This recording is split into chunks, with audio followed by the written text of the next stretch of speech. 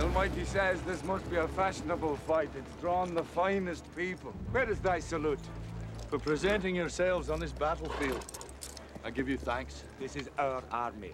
To join it, you give homage. I give homage to Scotland. And if this is your army, why does it go? We didn't come here to fight for them. Oh! The English are too many.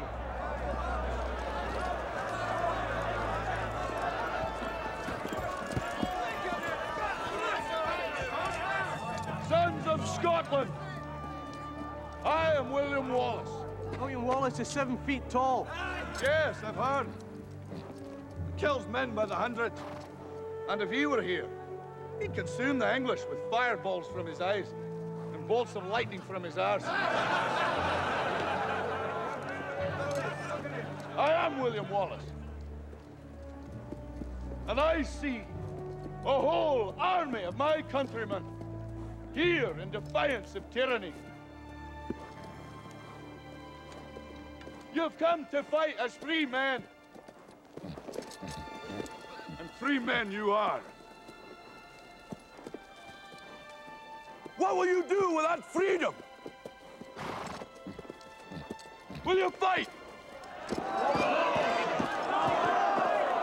Right? Against that? No! We will run! And we will live. Aye. Fight and you may die. Run and you'll live. At least a while.